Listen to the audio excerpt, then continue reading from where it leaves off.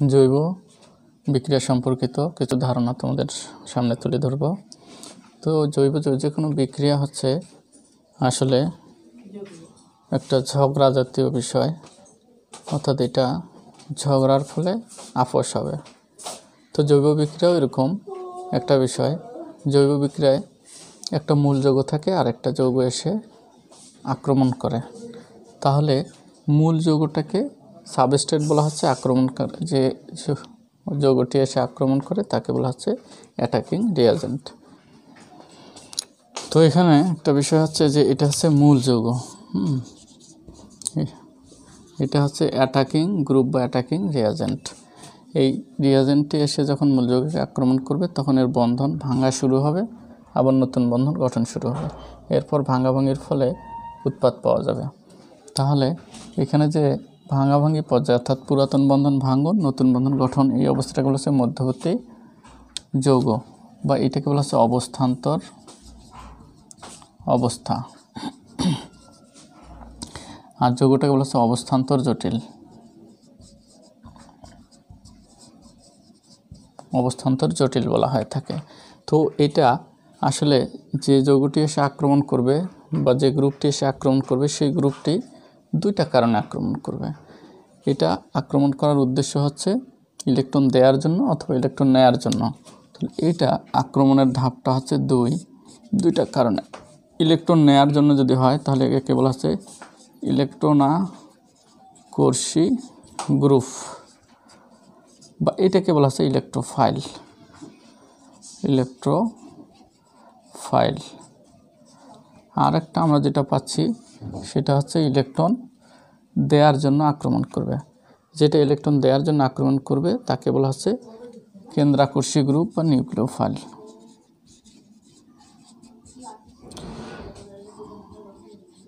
বা নিউক্লিওফাইল।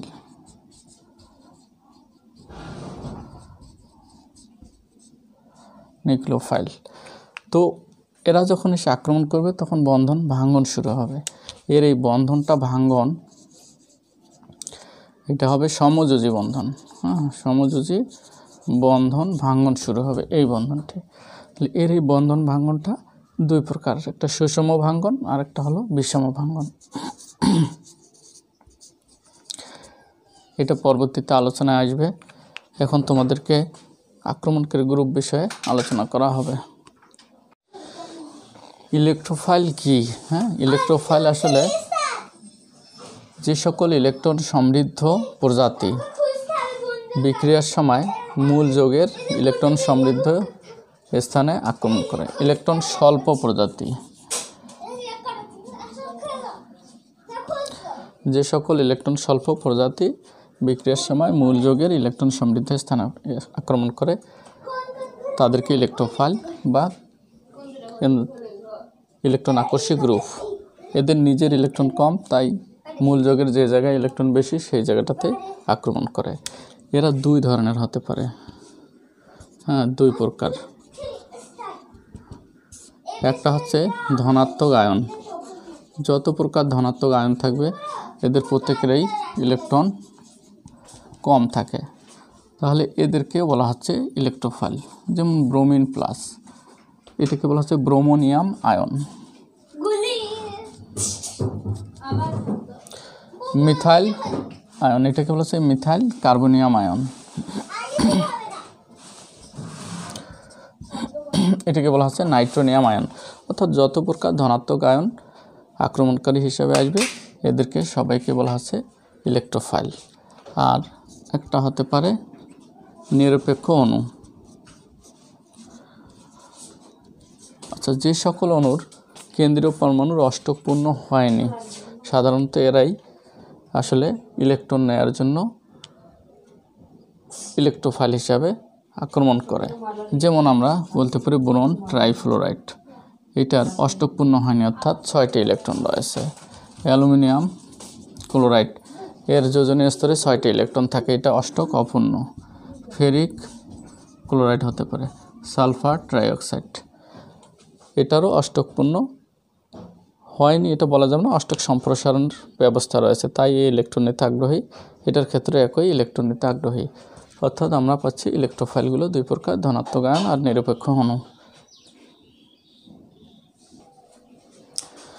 এরপরে আমরা আসি নিউক্লিওফাইল হ্যাঁ নিউক্লিওফাইল বা কেন্দ্রাকর্ষী গ্রুপ নিউক্লিওফাইল আমরা কাকে বলব? যে সকল ইলেকট্রন সমৃদ্ধ প্রজাতি অনুবায়ন, বিক্রিয়ার সময় মূল যোগের ইলেকট্রন স্বল্প বা ইলেকট্রন ঘাটতি স্থানে আক্রমণ করে তাদেরকে নিউক্লিওফাইল বলা হয়। অর্থাৎ এদের নিজেরই ইলেকট্রন বেশি থাকে, এরা আক্রমণ করে মূল যৌগকে ইলেকট্রন দেওয়ার জন্য। তাহলে এর, এরাও দুই প্রকার, ঋণাত্মক আয়ন। যত প্রকার ঋণাত্মক আয়ন আছে, সবগুলোই আওতায় পড়বে। তাহলে ক্লোরো, মিথাইল, কার্বন আয়ন। এটা কিন্তু মাইনাস আছে, কার্বন আয়ন, প্লাস হলে কার্বনিয়াম আয়ন, হাইড্রক্সি আয়ন। অসংখ্য দিতে পারি আমরা। নিরপেক্ষ অণুগুলো যাদের অষ্টক পূর্ণ থাকতে পারে কিন্তু তাদের লোন পেয়ার ইলেকট্রন যাদের আছে, অর্থাৎ নিঃসঙ্গ ইলেকট্রন জোর যাদের থাকবে, তারা আসলে নিউক্লিওফাইল রূপে ক্রিয়া করতে পারে। যেমন এটা হতে পারে, এটা হতে পারে, অ্যামোনিয়ার একজোড়া আছে দুজোড়া আছে দুজোড়া থাকলেও একজোড়া দিতে পারে, মিথাইল এমিনের একজোড়া আছে। তো এদেরকে আমরা কি বলতে পারি? নিউক্লিওফাইল বলতে পারি। এর পরের অংশে তোমাদেরকে মূল যোগের ভাঙন আলোচনা করা হবে।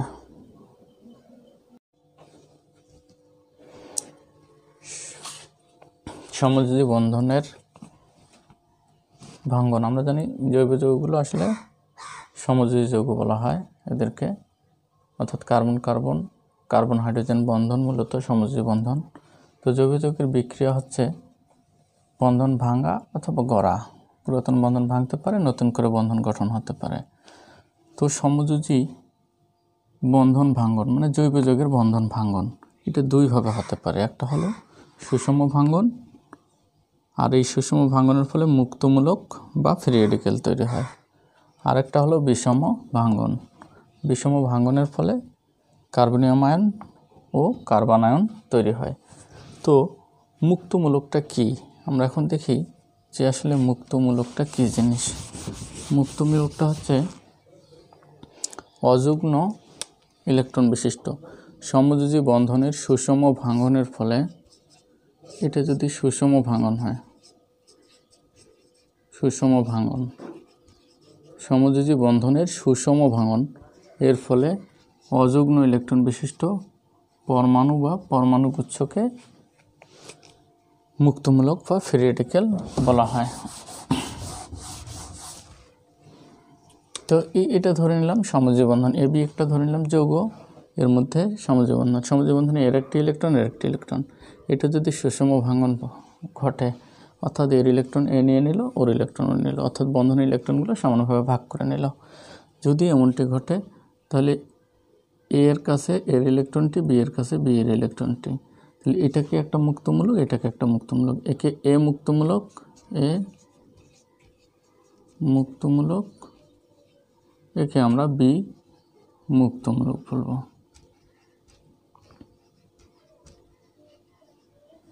এটা বলা হয়ে থাকে। তো সংজ্ঞাটার মধ্যে আমি বলেছিলাম যে সমযোজী বন্ধনের সুষম ভাঙ্গনের ফলে অযুগ্ন ইলেকট্রন বিশিষ্ট পরমাণু বা পরমাণু গুচ্ছ। এটা একটা পরমাণু হতে পারে অথবা পরমাণু গুচ্ছ হতে পারে। যেমনটা আমরা যদি এরকম চিন্তা করি যে পরমাণু কীভাবে তৈরি হচ্ছে। আমরা যদি ক্লোরিন অণুটার কথা চিন্তা করি, ক্লোরিন অণুতে কিন্তু দুইটা ক্লোরিনের পরমাণু রয়েছে। তাহলে এখানে দুইটা ইলেকট্রন রয়েছে, এর একটা এর একটা।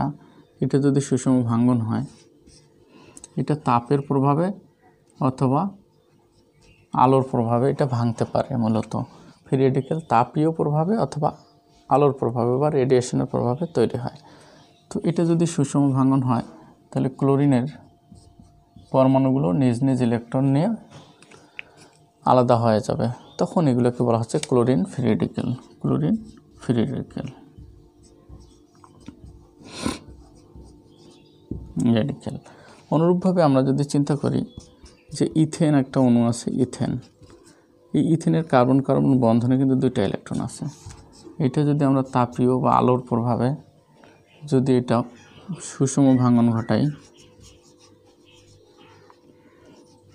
তাপ প্রয়োগের মাধ্যমে মূলত এটা ভাঙতে পারি। ভাঙলে এর ইলেকট্রনের কাছে, এর ইলেকট্রনের কাছে। তো এটাকে আমরা বলব মিথাইল দুটাই মিথাইল ফিরিক্যাল এটার নাম হচ্ছে মিথাইল ফিরিডিক্যাল মুক্তমূলক। তো এই মূলকগুলো আসলে অনেকগুলো পরমাণু একখানে থাকলেও এটা একটা পরমাণু ন্যায় আচরণ করে, তখন এটাকে পরমাণু গুচ্ছ বলা হয়। তাহলে এগুলোকে আমরা ফ্রি রেডিকেল বলতে পারি? এগুলোকে ফ্রি রেডিকেল বলতে পারি। ফ্রি রেডিকেলগুলোর সুস্থিতি আবার নির্ভর করে কয়েকটা বিষয়ের উপর। এদের সুস্থিতি ফ্রি সুস্থিতি, তিন ডিগ্রি ফ্রি সুস্থিতি সবচেয়ে বেশি, দুই ডিগ্রির কম, এক ডিগ্রির আরও কম, আর মিথাইল ফ্রি সুস্থিতি আরও কম। তো আমরা যদি তিন ডিগ্রি চিন্তা করি, তিন ডিগ্রি কেমন হবে? এটাকে বলা হচ্ছে তিন ডিগ্রি যে কার্বন পরমাণুটার মধ্যে অযুগ্ন ইলেকট্রন থাকবে, সেটার সাথে তিনটা কার্বন থাকলে এটাকে তিন ডিগ্রি বলা হয়। এর নাম হচ্ছে আইসোপ্রোফাইল ফ্রি রেডিকেল এটার সুস্থিতি সবচেয়ে বেশি। অনুরূপভাবে আমরা একটা দুই ডিগ্রির উদাহরণ দিতে পারি। তো এই কার্বন, যে কার্বনের ফোঁটা আছে, সেটাতে দেখো যে দুইটা কার্বন লাগানো আছে। সুতরাং এই কার্বনটা দুই ডিগ্রি, দুই ডিগ্রির উপরে কিন্তু অযুগ্ন ইলেকট্রনটা রয়েছে। এটির নাম হচ্ছে আইসোপ্রোপাইল ফ্রি রেডিকেল এটা হচ্ছে টার্সিয়ারি বিউটাল, সরি, এটা টার্সিয়ারি বিউটাইল ফ্রি রেডিকেল এটা হচ্ছে আইসোপ্রোপাইল ফ্রি রেডিকেল অনুরূপভাবে আমরা যদি চিন্তা করি CS two ethyl free radical এটা এক ডিগ্রি, কারণ এর সাথে একটা কার্বন লাগানো আছে। আর মিথাইল ফ্রি রেডিকেল কোনো ডিগ্রি নেই। তাহলে এটা ডাইরেক্ট মিথাইল ফ্রি রেডিকেল আমরা বলেছিলাম। তো এদের এই সুস্থিতিগুলো আসলে কিসের উপর নির্ভর করে? এদের সুস্থিতিগুলো নির্ভর করে হচ্ছে রেজোনেন্স কাঠামোর উপর। যে ফ্রি রেডিকেলটি যত বেশি রেজোনেন্স মানে অনুরণন কাঠামো দেখাতে পারবে অর্থাৎ কোনো একটা অণু বা আয়ন যতগুলো একাধিক কাঠামো দেখাতে পারবে। অর্থাৎ ইলেকট্রনগুলোর চেঞ্জের কারণে যদি একাধিক কাঠামো আমরা দেখাতে পারি, এই ঘটনাটার নাম হচ্ছে রেজোনেন্স তাহলে এটা যত বেশি রেজোনেন্স দেখাবে, এর সুস্থিতি তত বেশি হবে।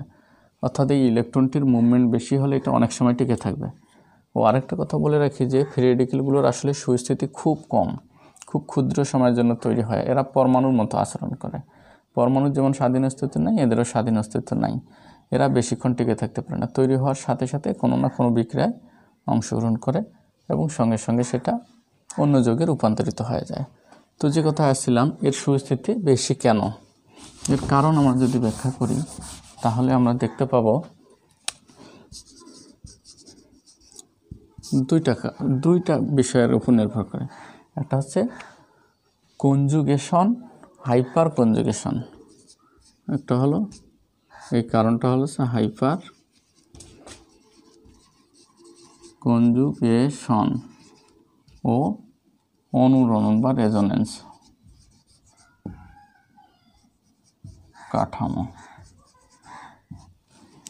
তাহলে হাইপার কনজুগেশন একটা সিস্টেম ওই সিস্টেমের মাধ্যমে সে একাধিক কাঠামো দেখাতে পারে, অনুরণন কাঠামো দেখাতে পারে, যে কারণে এর সুস্থিতি বেশি। তো যদি আমরা এটাকে এইভাবে দেখাই হাইপার কনজুগেশনটা কী জিনিস সেটা একটু দেখানোর চেষ্টা করি। যদি আমরা, আমি একটা ভেঙে দেখাচ্ছি। অর্থাৎ এই মিথাইল মূলকটাকে আমি ভেঙে দেখালাম। ফোটাটা ছিল এই জায়গায়। আমরা জানি এইখানে কিন্তু প্রতিটা বন্ধনে দুইটা করে ইলেকট্রন আছে। তো এইটা যদি যখনই একটা ফ্রি রেডিক্যাল তৈরি হবে, তখন মুক্ত মূলকটা সে কিন্তু যেভাবে গঠন তৈরি হোক না কেন, সে মুক্তমূলক অবস্থায় থাকতে, থাকার চেষ্টা করবে। তাহলে এইটার সাথে এইটার একটা গঠন তৈরি হবে। তাহলে এই বন্ধনটা ভেঙে যাবে। তো সিএস থ্রি সি এই জায়গায় দ্বিবন্ধন হয়ে গেল। এটা একটা এইচ এইচ এইখানকার হাইড্রোজেনের যে ফোটা ইলেকট্রনটা রয়েছে, সেটা কিন্তু তার গায়ের উপরে রয়ে গেল। তাহলে এটা ফ্রি রেডিক্যাল ফ্রি রেডিক্যালেই রয়ে গেছে। কিন্তু ইলেকট্রনটার জায়গা চেঞ্জ হয়েছে, পাই বন্ধন তৈরি হয়েছে। আগে থেকে একটা সিগমা বন্ধন ছিল, আর একটা পাই বন্ধন তৈরি হয়েছে। তাহলে কোনো জায়গার সিগমা বন্ধনের ইলেকট্রন যদি অপর একটা সিগমা বন্ধনের সাথে পাই বন্ধন রূপে স্থানান্তরিত হয়, এই ঘটনাটার নাম হচ্ছে হাইপার কনজুগেশন আবার বলি, কোনো একটি সিগমা বন্ধনের ইলেকট্রনগুলো যদি অন্য কোনো একটি সিগমা বন্ধনের সাথে পাই বন্ধন রূপে স্থানান্তরিত হয়, এই পাই বন্ধন রূপে এসেছে। এটাকে হাইপার কনজুগেশন বলে। এই কনজুগেশনটা আমরা শুধু এই হাইড্রোজেনটা দিয়ে দেখাতে পারি না, এ দিয়ে দেখাতে পারি, এ দিয়ে দেখাতে পারি, এখানেও তিনবার দেখাতে পারি, এখানেও তিনবার দেখাতে পারি। তাহলে শুধু একটা দেখাচ্ছি।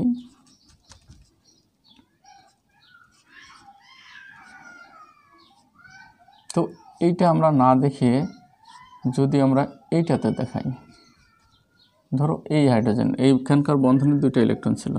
একটা ইলেকট্রন এই পাশেরটার সাথে যুক্ত হয়েছে তাহলে ফোটাটা এখানে আসলো, এই হাইড্রোজেনটা রয়ে গেল। অনুরূপভাবে আমরা যদি ওইখানে না দেখে এইটাতে দেখাই, তাহলে একই ঘটনা। ফোটাটা এই এই দুটো ঠিক থাকল। এইভাবে আমরা এই মিথাইল মূলকটার জন্য তিনটা দেখাতে পারলাম। এইটার জন্য আরও তিনটা দেখাতে পারব, এটার জন্য আরও তিনটা দেখাতে পারব। মোট নয়টি। কাঠামো সম্ভব। কাঠামো সম্ভব।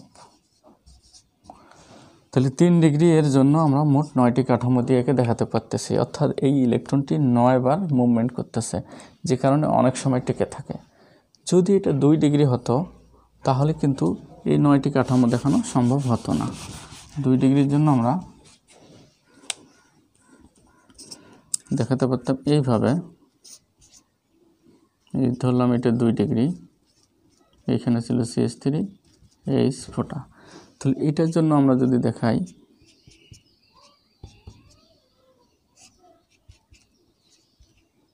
এখানে কিন্তু এইচ তো এইটার সময় আমরা যেটা পাবো, এখানে কিন্তু এর ফোটাটার সাথে এটার একটা দ্বিবন্ধন হবে।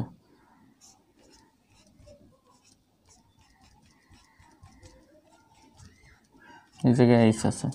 অনুরূপভাবে এইটার সাথে একবার দেখাতে পারি, এটার সাথে একবার দেখাতে পারি। এইটা কিন্তু এইচ আছে এইচের সাথে এটা সম্ভব হয় না। যে কারণে এর দ্বারা আমরা দেখাতে পারব মোট কয়টি? এইটার জন্য তিনবার, এটার জন্য তিনবার, মোট ছয়টি কাঠামো আমরা দেখাতে পারি। সুতরাং তিন ডিগ্রির ক্ষেত্রে আমরা দেখাতে পারি নয়টি, কিন্তু দুই ডিগ্রির জন্য কাঠামো দেখাতে পারি ছয়টি। এভাবে যদি আমরা চিন্তা করি, এক ডিগ্রির জন্য, অর্থাৎ এক ডিগ্রি হলে ethyl ethyl ethyl carbonium ion তো এক ডিগ্রির জন্য আমরা যখন দেখাতে যাব, তখন কিন্তু আমাদের কাঠামোটা চেঞ্জ হয়ে যাবে। অর্থাৎ কাঠামোর সংখ্যা আমরা নিজেরাই বলতে পারব কয়টি হবে, শুধু এইটার জন্য হবে। তো এটাকে যদি আমরা এইভাবে দেখাই, হাইড্রোজেনগুলোর সাথে কিন্তু হবে না। তো এখানে ইলেকট্রন আছে, এইটার সাথে এটার, এইটাকে এখানে দেখাল সমস্যা নেই, এটার সাথে এটার একটা পাই বন্ধন হবে। তাহলে আমরা দেখাতে পারি। এর ফোটাটা এর কাছে রয়ে গেল, এখানে দ্বিবন্ধন হলো। এটা একটা দেখাতে পারি। অনুরূপভাবে এটার জন্য একবার, এটার জন্য একবার।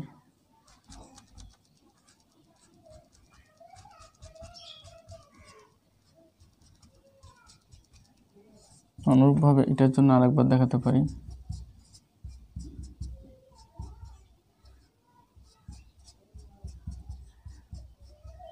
এভাবে মোট আমরা তিনটি দেখাতে পারি। তাহলে এক ডিগ্রির জন্য তিনটি। এক ডিগ্রির জন্য তিনটি। যদি সেটা হতো, মিথাইল কার্বনিয়াম আয়ন যদি হতো, তাহলে এর জন্য একটি কাঠামো সম্ভব। এই থেকে প্রমাণ হচ্ছে যে রেজোনেন্স হাইপার কনজুগেশন হাইপার কনজুগেশনের মাধ্যমে রেজোনেন্স কাঠামো দেখাচ্ছে তিন ডিগ্রি নয়টি, দুই ডিগ্রি ছয়টি, এটা তিনটি, এটা একটি। তাহলে যে যতগুলো অনুরণ কাঠামো দেখাতে পারবে, তার সুস্থিতি তত বেশি। তো এটা হচ্ছে ফ্রি রেডিকেলের সুস্থিতি। কার্বনিয়াম আয়ন হ্যাঁ কার্বনিয়াম আয়ন হচ্ছে আম মানে ধনাত্মক আয়ন। কার্বনের মাথায় ধনাত্মক চিহ্ন। সমযোজী বন্ধনের সমযোজী বন্ধনের বিষম ভাঙ্গনের ফলে। যদি এখানে কিন্তু দুইটা ইলেকট্রন আছে। ইলেকট্রন দুইটা যদি বিষম ভাঙ্গন ইলেকট্রন দুইটা যদি যে কোনো একটা পরমাণুর দিকে সরে যায়, তাহলে একটা প্লাস হবে, একটা মাইনাস হবে। তাহলে এ প্লাস বি মাইনাস হলো।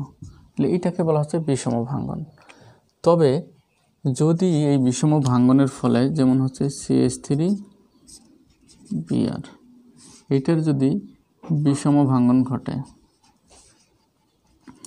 তড়িৎ ঋণাত্মকতার মান ব্রোমিনের বেশি হওয়ার কারণে ইলেকট্রন দুইটা ব্রোমিনের দিকে সরে যাবে, অর্থাৎ এ নিয়ে নেবে। তাহলে এটা প্লাস হবে, এটা মাইনাস হবে। তাহলে এইটা হলো মিথাইল আর এটা হলো ব্রোমাইড মাইনাস এই যে এইটা কার্বনের মাথায় যদি ধনাত্মক চার্জ থাকে, এরকম আয়নকে কার্বনিয়াম আয়ন বলে। এটার নাম হবে methyl carbonium ion. Methyl carbonium ion তাহলে যে পরমাণুটার মাথায় চার্জ থাকবে, সেই পরমাণুটা যদি প্লাস হয়, তাহলে তখন এটা কার্বনিয়াম আয়ন বলা হয়। তাহলে কার্বনিয়াম আয়ন হতে গেলে কার্বনের সাথে যে পরমাণু বা গ্রুপ যুক্ত থাকবে, সেটার তরিত ঋণাত্মকতার মান বেশি হবে। তাহলে ইলেকট্রন জোড়াটা এর দিকে সরে যাবে, এটা প্লাস হবে। এইভাবে কার্বনিয়াম আয়ন তৈরি হতে পারে। আবার আমরা যদি এরকম বলি, ধরে নিলাম এখানে ক্লোরিন আছে, তো এটাও যদি এরকম বিষম ভাঙ্গন হয় ইলেকট্রনগুলো এর দিকে সরে যাবে। গেলে C S three three C plus আর হলো সিএল মাইনাস তাহলে এইটাও কার্বনিয়াম আয়ন। তো এই কার্বনিয়াম আয়নটার নাম হবে চারটা কার্বন আছে, tertiary butyl, carbonium ion. Tertiary butyl.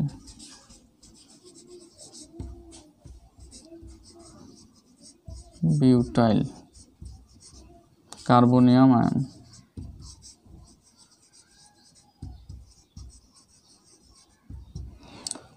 তো যাই হোক কার্বনিয়াম আয়ন কীভাবে হচ্ছে আমরা এটা বুঝতে পারলাম। তবে কার্বনিয়াম আয়নগুলোর সুস্থিতি আবার সেই ফ্রি রেডিকেলের মতোই।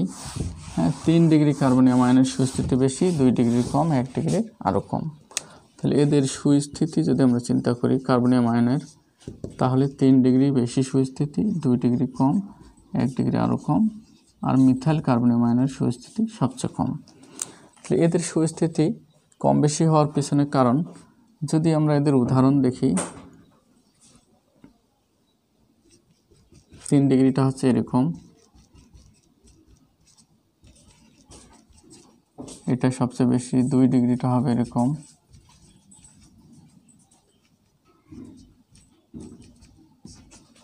এক ডিগ্রিটা হবে তাহলে তিন ডিগ্রি, অর্থাৎ যে কার্বনটির মাথায় প্লাস আছে, তার সাথে তিনটা কার্বন আছে, এই জন্য এটা তিন ডিগ্রি কার্বনিয়াম আয়ন এর সাথে দুইটা কার্বন লাগানো আছে দুই ডিগ্রি, এর সাথে একটা আছে এক ডিগ্রি, ওটার সাথে নাই, এটা নাই ডিগ্রি। তো এটার সুস্থিতি সবচেয়ে বেশি, এটার কম আরও কম আরও কম। এর কারণটা হচ্ছে একই আগের মতো হাইপার কনজুগেশন কনজুগেশন হাইপার কনজুগেশনের মাধ্যমে একাধিক রেজোনেন্স কাঠামো। অর্থাৎ হাইপার কনজুগেশনের মাধ্যমে যেই আয়নটি যত বেশি রেজোনেন্স দেখাতে পারবে বা যত বেশি গঠন দেখাতে পারবে, তার সুস্থিতি তত বেশি হবে। অর্থাৎ এই প্লাস চার্জটার মুভমেন্ট যত বেশি হবে, সেই আয়নটি তত বেশি সময় টিকে থাকবে। বেশি সময় থাকলে তার সুস্থিতি বেশি, কিন্তু সুস্থিতি বেশি হলে সক্রিয়তা আবার কম হবে। যার সুস্থিতি বেশি, তার সক্রিয়তা কম, আর যার সুস্থিতি কম, সে তাড়াতাড়ি বিক্রিয়া অংশগ্রহণ করে, সক্রিয়তা বেশি। তো এখন আমরা মিথাইল তিন ডিগ্রি কার্বনিয়াম আয়নের সুস্থিতিটা একটু দেখি। একই রকম, অর্থাৎ আমরা যে ফ্রি রেডিকেল দেখেছিলাম সেই ফ্রি রেডিকেলের সুস্থিতি আর এর সুস্থিতির কারণ ব্যাখ্যা সব একই। এই জিনিসটা যদি আমরা চিন্তা করি, তাহলে এইখানে যে পাই বন্ধনটি, সিগমা বন্ধনটি আছে, এই সিগমা বন্ধনটা এই জায়গায়।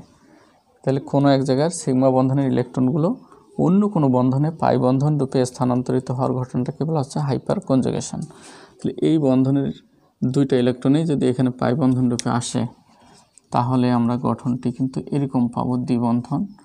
এই হাইড্রোজেনের ইলেকট্রনটাও এখানে চলে আসছে, এটা প্লাস এটা আগে থেকেই আছে, এখানে সিএস থ্রি এটা চিহ্ন, এখানে আবার উভমুখী চিহ্ন দিয়েছি। এইটা না এসে এটা আসতে পারে, এটা আসতে পারে, তাহলে এর জন্য আমরা একাধিক কাঠামো দেখাতে পারি। এই বন্ধনটা ঠিক রাখলাম, এই হাইড্রোজেনটা প্লাস হলো। আবার আমরা এইটার পরিবর্তে এটাও দেখাতে পারি।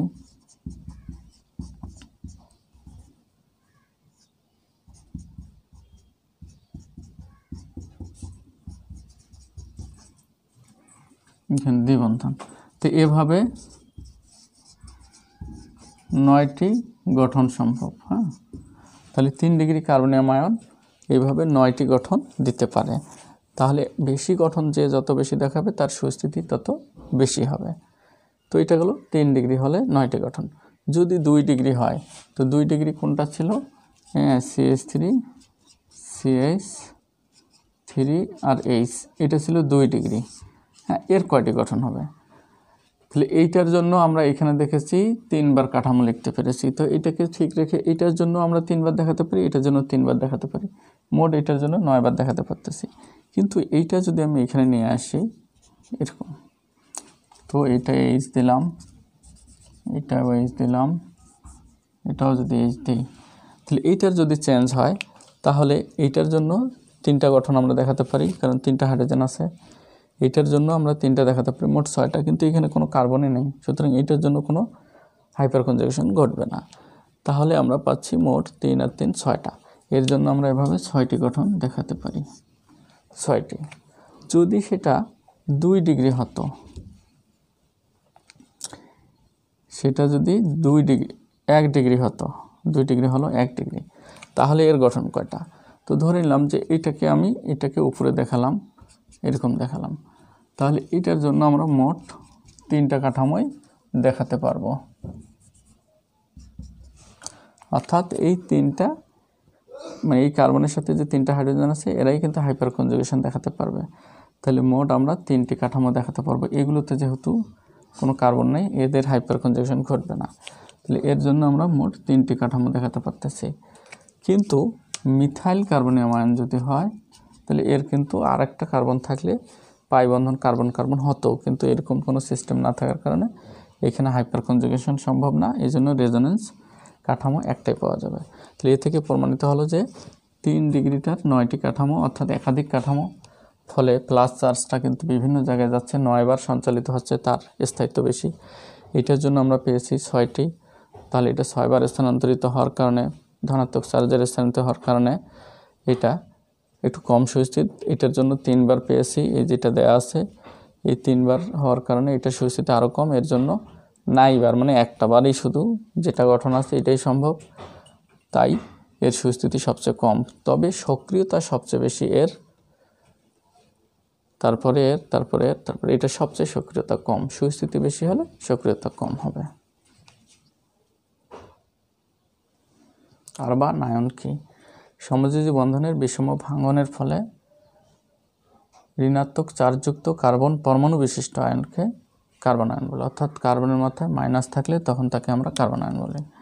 যেমন আমরা এ বি এটা দেখেছি যে এটা তরিত ঋণাত্মকতা বেশি গেলে এর দিকে সরে আসলো। তো এটা যদি বিষম ভাঙন হ্যাঁ? বিষম ভাঙন যদি হয়, এটা প্লাস এটাকে ওই পাশে দেখাই দিই, এটা মাইনাস হলো। আর বিটা প্লাস হলো। তাহলে এইটা যদি কার্বন হয়, এটা কার্বন আয়ন হবে। যেমনটা আমরা যদি দেখি সিএস থ্রি লিথিয়াম তড়িৎ ঋণাত্মকতা কিন্তু কার্বনের বেশি। ইলেকট্রন দুইটা এর দিকে সরে আসলো। আসলে এখানে বিষম ভাঙ্গন যদি হয়, তাহলে সিএস থ্রি এইটা কিন্তু ঋণাত্মক হলো। ধাতুগুলো সাধারণত তড়িৎ ঋণাত্মক এরা ধনাত্মক হয়। আর ধাতুগুলো মানে কার্বনের ঋণাত্মকতা তুলনামূলকভাবে বেশি ঋণাত্মক হয়। তাহলে এইটাকে আমরা বলব মিথাইল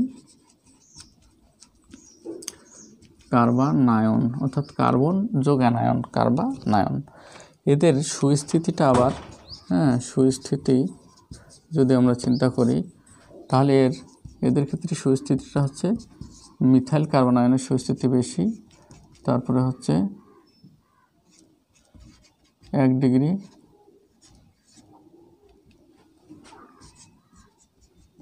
তারপরে হচ্ছে দুই ডিগ্রি, তারপরে হচ্ছে তিন ডিগ্রি।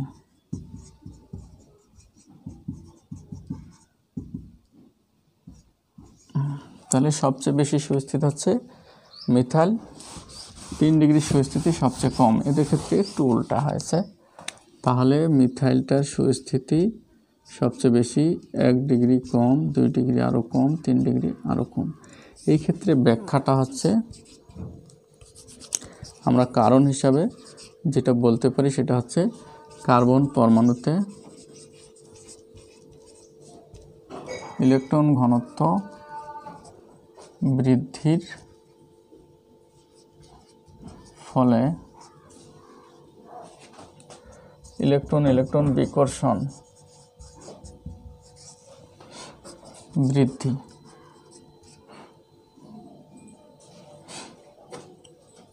এবং সুস্থিতি হ্রাস। তাহলে এটাই কারণ। তাহলে কার্বন পরমাণুতে ইলেকট্রন ঘনত্ব যত বাড়বে, ইলেকট্রন ইলেকট্রন বিকর্ষণ মান তত বেশি হবে, আর বেশি হলে সুস্থিতি কমে যাবে। তো এটা কেন ঘটতেছে? এখন এর ব্যাখ্যাটা আমরা ডিটেলস আলোচনা করি। আমরা জানি অ্যালকাইল গ্রুপগুলো অ্যালকাইল গ্রুপগুলো হাইপার কনজুগেশন মানে কার্বনের বন্ধনের ইলেক কার্বন হাইড্রোজেন বন্ধন ইলেকট্রনটা কী হয়? কার্বন কার্বন বন্ধনে পাই বন্ধছে অর্থাৎ যে কোনোভাবে হোক, অ্যালকাইল গ্রুপগুলো আসলে ইলেকট্রন দাতা গ্রুপ। আর গ্রুপ ইলেকট্রন দাতা। দাতা। তো আমরা যদি তিন ডিগ্রির ক্ষেত্রে চিন্তা করি, তিন ডিগ্রি তিন ডিগ্রিটার ক্ষেত্রে আমরা দেখব যে তিনটা দাতা গ্রুপ আছে। এর ক্ষেত্রে তিনটি দাতা গ্রুপ আছে। এটাতে আগে থেকেই কিন্তু ইলেকট্রন থাকার কারণে এটা ঋণাত্মক। দাতা গ্রুপ তিনটি। তিনটি দাতা গ্রুপে যদি কার্বনের দিকে ইলেকট্রন ঠেলে দেয় আগের থেকেই সে ইলেকট্রন বেশি নিয়ে আসে, যে কারণে ঋণাত্মক। এখন তিনটা দাতা গ্রুপ ইলেকট্রন দিলে এর ইলেকট্রন ঘনত্ব অনেক বেড়ে যায়। যে কারণে ইলেকট্রন ইলেকট্রন বিকর্ষণ মান অধিক। তাই এটার ক্ষেত্রে সুস্থিতি অনেক কমে যায়। দুই ডিগ্রি যখন হবে, এটা তিন ডিগ্রি। যখন দুই ডিগ্রি হবে, তখন আমরা দেখব দাতা গ্রুপ দুইটি। দুইটা। তাহলে এর তুলনায় এখানে দান করতেছে কম, অর্থাৎ ইলেকট্রন ঘনত্ব তুলনামূলকভাবে একটু কম বেড়ে যাচ্ছে যে কারণে ইলেকট্রন ইলেকট্রন বিকর্ষণ মান কম হওয়ায় এটা সুস্থিতি একটু বেশি। যদি সেটা এক ডিগ্রি হয় তাহলে এখানে দাতা গ্রুপ মাত্র একটি, যেখানে এর ইলেকট্রন ঘনত্ব আরও একটু কমে যাচ্ছে। তাহলে এখানে যে পরিমাণ ঘনত্ব হয়, তার চেয়ে একটু কম ঘনত্ব, তার চেয়ে আরও কম ঘনত্ব। তাই এখানে বিকর্ষণ মানটা একটু কম, সুস্থিতি বেশি। কিন্তু যদি এইটা হয়, তাহলে কোনো দাতা গ্রুপে নেই। তার যে ঘনত্ব আছে, সেটাই অ্যানাফ ওই ঘনত্বের কারণে তুলনামূলকভাবে এই তিনটার চেয়ে এর ঘনত্ব একটু কম থাকে। তাই মিথাইল কার্বনিয়াম আয়নের সুস্থিতি সবচেয়ে বেশি। তাহলে এখানে দাতা গ্রুপ হচ্ছে তিনটি। দাতা গ্রুপ তিনটি। এখানে দুইটি, এখানে একটি, এখানে শূন্যটি। অর্থাৎ ইলেকট্রন ঘনত্বর ঘনত্বর বৃদ্ধি এবং বিকর্ষণ মান অধিক হওয়ার কারণে সুস্থিতি কমে যায়।